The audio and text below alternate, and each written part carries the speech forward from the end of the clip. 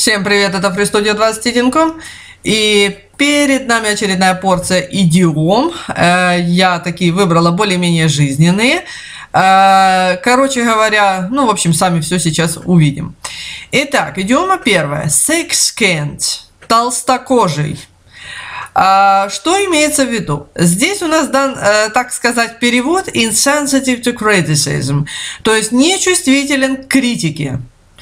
У них толстокожий это, э, ну, в принципе, э, даже не знаю, как у нас это сказать. У нас обычно, когда говорят толстокожий, подразумевают, что это вот тонкослезый какой-то такой вот чувствительный, обижается на все, сразу чуть сразу плачет и все такое. Здесь более конкретно э, нечувствителен к критике. Ну, ну, что на это сказать? Толстокожий. Я не буду вдаваться в нюансы. Я напишу как есть. Толстокожий. Дальше будут примеры толстокожий. Иногда у нас говорят бессовестный, иногда у нас говорят э, непробиваемый, э, меднолобый, э, непробиваемый, можно так сказать. Э, так тоже есть такие непробиваемый. То есть он непробиваемый, э, ему говоришь, а он все равно делает, как считает нужным, ничего на него не влияет. Едем дальше. Следующее выражение. Thorn in one's side. Uh, что-то, что вызывает неудобство. Uh, значит, у нас uh, говорят заноза в боку. Или заноза в заднице. И такое тоже встречается. Заноза в боку.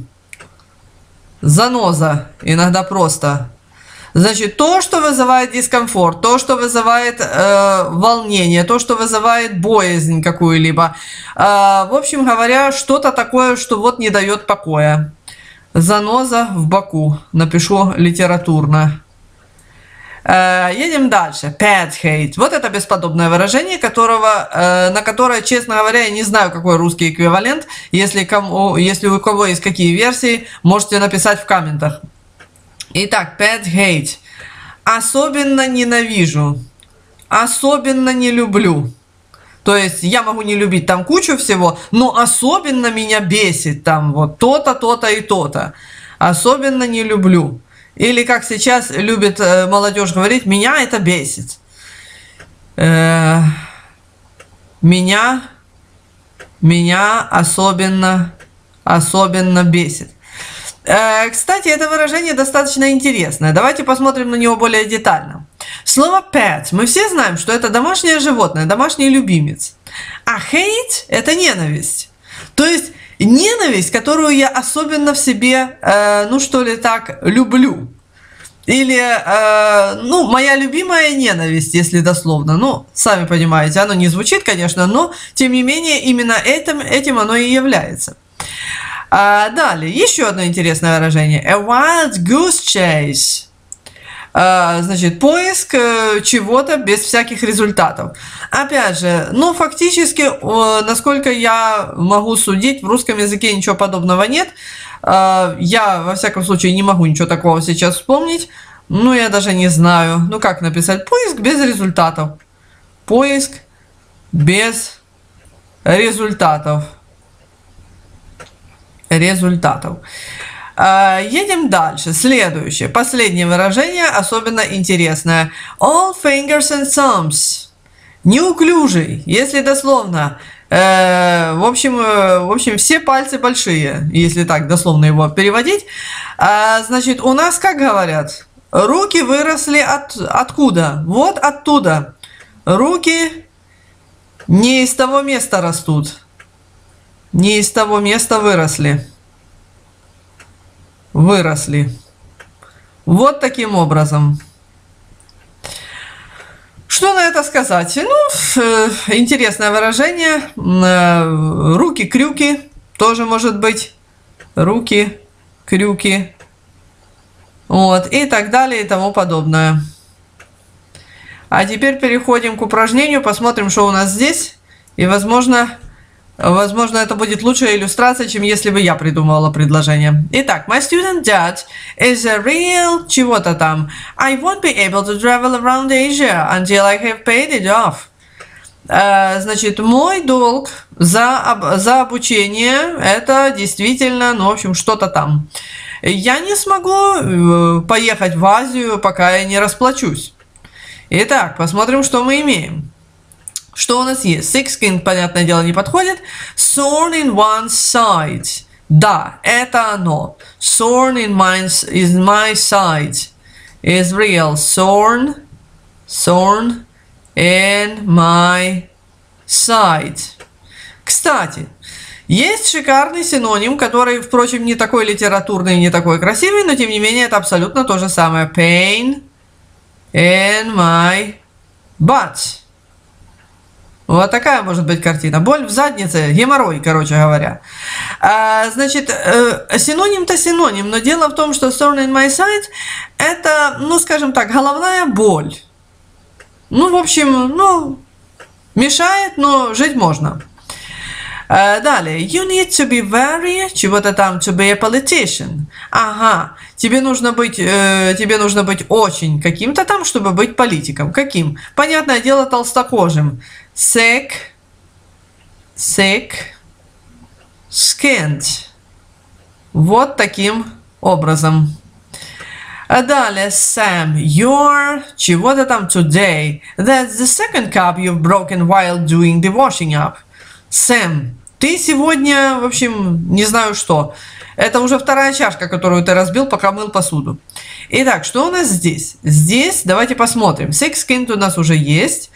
А, так, Son in my side уже есть. А, у нас осталось три выражения. Pet head явно не подходит. Wild goose chase. Думаю, что нет. All fingers and thumbs. Руки не из того места выросли. Или же еще один вариант, а, которым я только что э, додумала. Слон в посудной лавке. Слон в посудной лавке. Кстати, насчет слона в посудной лавке, э, лавке у них есть такое выражение. Слон в посудной лавке. Это, кстати, калька с английского языка. Это выражение для русского языка не характерное, насколько, во всяком случае, я знаю. Э, у них это звучит an elephant, так все и будет. Elephant in a crockery, crockery shop. Вот такое вот дело может быть. А, значит, э, теперь э, пишем all fingers and thumbs. You are all fingers, fingers and thumbs. Вот такое. Э, это не значит, что человек всю жизнь, по жизни там какой-то неповоротливый. Это значит, что вот сегодня у него все из рук валится. Вот у тебя все сегодня из рук валится. Тоже может быть как вариант. Неуклюжий. Э, далее. I've just been on чего-то там all over town looking for that new Harry Potter book. Uh, значит, я уже весь город оббежала uh, в поисках uh, новой книги о Гарри Поттере. Так, что же здесь может быть-то? В безрезультатных поисках, скажем там, скажем так. Э, что мы имеем? Значит, это у нас уже использовано. Осталось Wild Goose Chase. Да, это именно оно и есть. On a Wild Goose Chase. Обратите внимание на предлог. A Wild Goose Chase. Я бы никогда в жизни так бы не додумалась бы, наверное, сказать.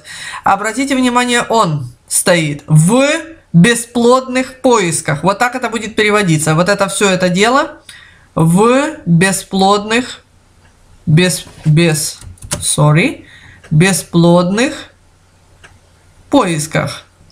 Вот таким образом. Поисках.